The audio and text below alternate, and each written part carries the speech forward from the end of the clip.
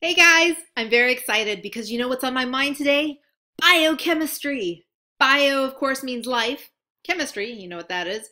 So the chemistry of life. In other words, what makes up life forms? And it's so cool because no matter whether you're a bacterial cell or a human or an elephant or a protist or an alga or a tree or whatever, we're all made of the same basic four compounds of life. I mean, four compounds, yet all this incredible diversity of life. It really makes you think. So what are these four compounds of life? Let's take a look. So here they are, the four compounds that make up all life forms on Earth. We have, some of these will sound familiar to you, carbohydrates. Everybody knows about carbs, right? We love them. They're delicious, unless you're on the Atkins diet. We have proteins, the most diverse molecule of life forms. And wait till we get into those. You're going to be astounded. And nucleic acids, like our DNA, and lipids, fats, you know, a little bit of extra love handles here. Uh, so we're going to go over these four compounds of life. Specifically, we're going to talk about the monomers, i.e. the building blocks that make them up, what their chemical compositions are. We're going to get into all that kind of good stuff. I can't wait. And you might be thinking, uh, biochemistry. Trust me, once you learn the intricacies, intricacies? Intricacies of these amazing compounds, you're going to be like, wow. So, um, first of all, let's just point out that these four compounds come in the form of what are called polymers. That means um, many building blocks put together to make large macromolecules. So we're going to learn what these building blocks are. And the term for the building blocks are called monomers, right? Mono means one, uh, poly means many. So what are the monomers that make up the polymers? So that's one thing I want you to learn from this lecture are for each of these four compounds of life, what are their monomers? Now, as if that wasn't cool enough that all life is made of just four compounds, these four compounds all share the same basic elements of the periodic table. So you remember that the periodic table of elements has 92 naturally occurring elements plus a bunch that we created ourselves.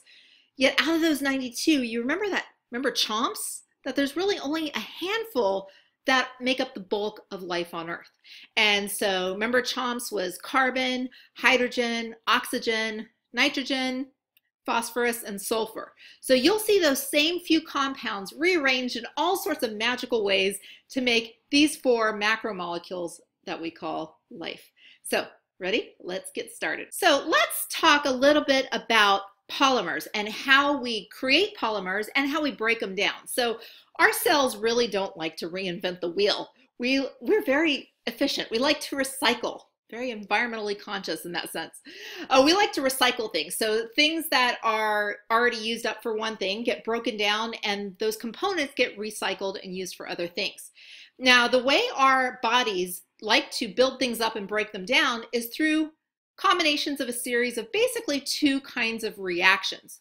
So we have one that's called dehydration synthesis, well, you guys have heard the term dehydration. What you know, if you get dehydrated, like I just had the flu and got real dehydrated, what happens in dehydration? You've lost water, right? So that's basically what's going on in dehydration synthesis. You're losing water.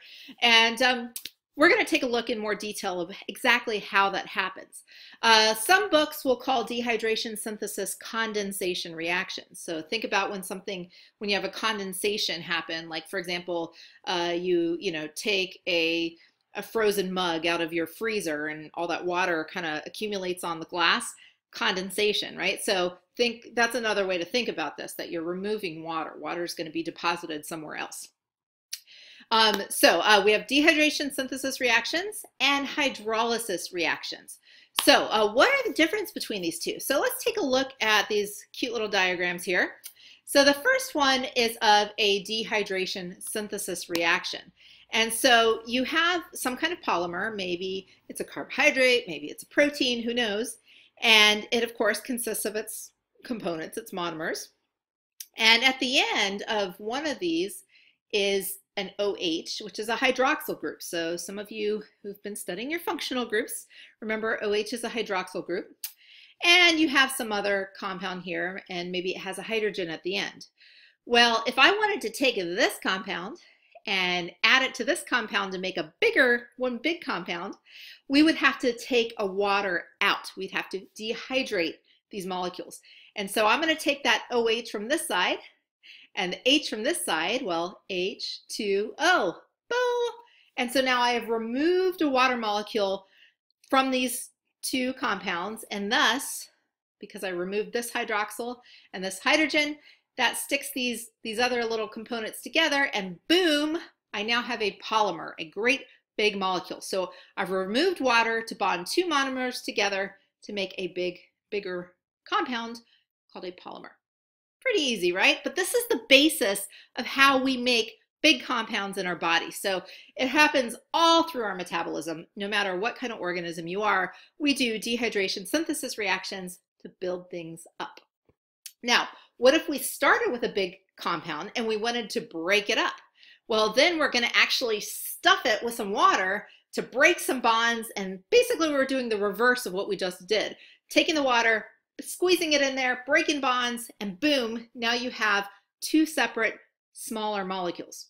So uh, how does this happen? So imagine this is your polymer right here. And let's say we wanted to separate this side from that side. We're going to take a water molecule, bam, and just like before, we're taking a hydroxyl group off of the water and sticking it onto one side. And the remaining hydrogen gets stuck to the other side and booyah, now you have two separate smaller molecules from that larger polymer molecule. Actually pretty easy, right? And think of the word hydrolysis. Hydro means water.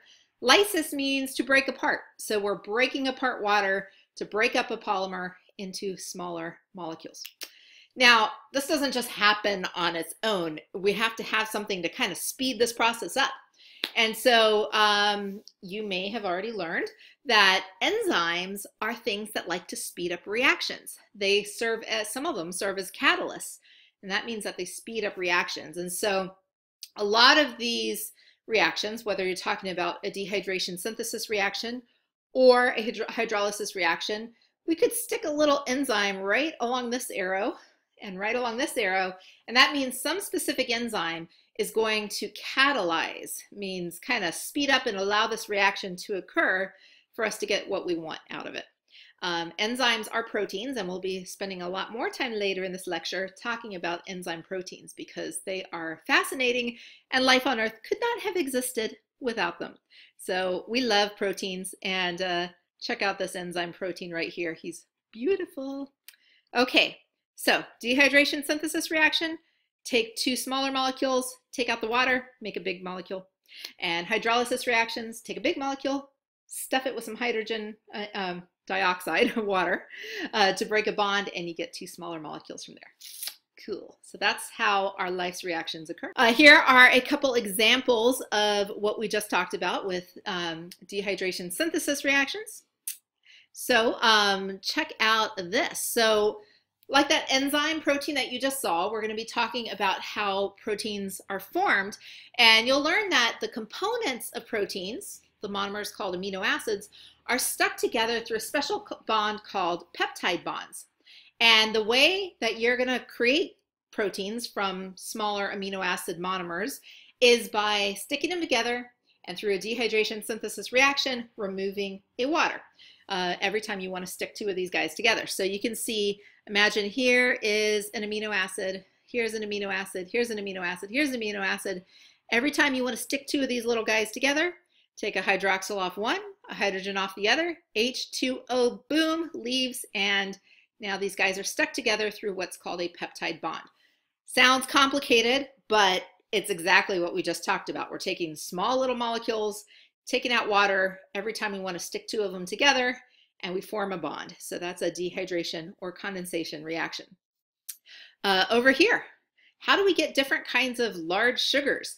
So for example, um, maltose is a sugar that's very important actually like if you make beer you're going to want to know something about maltose because malt right um, mal maltose is what we call a disaccharide we'll get into that in a minute but it's made of taking two glucose molecules, which are kind of smallish rings, and sticking them together to make a double-sided sugar, a maltose, a disaccharide. Same thing, so if you look here, here's one glucose, C6H12O6, right? You guys should remember that, that, that particular formula because you'll hear it over and over again. So we take one glucose, We take another glucose. Here comes an H off one, a hydroxyl off the other. So we form water as a byproduct. And here is a beautiful maltose sugar, which is tied together via a nice, what we call glycosidic bond, which we'll talk about in a little bit. Um, and you're like, okay, maltose, you probably haven't spent too much time thinking about maltose, but what about sucrose? Sucrose is table sugar. It's kind of what you probably put in your coffee this morning. And same kind of thing. That guy is a disaccharide. Has two sugars put together. Um, and those two sugars were glucose and fructose, which is fruit sugar, right? And same thing, we want to take a hydroxyl off one, a hydrogen off the other. That makes these guys form a nice little bond with water formed as a byproduct. So that was the dehydration synthesis reaction. All right, uh, one quick example of hydrolysis, we're just gonna work in the reverse. So instead of forming maltose in this example, we're going to start with maltose. And let's say we wanted to break it apart. Like for example, you consume some beer that had maltose in it, and now your body's trying to digest it because we don't like to keep big sugars floating around in our body. You want to digest it to things that your cells can take up. So you start with maltose, add some water, boom, goes right through and breaks that bond. And now the hydroxyl from water goes on this guy. And here's from the other guy. And boom, you have two separate glucose molecules. So hydrolysis, breaking that water up to break the big compound up. Any questions?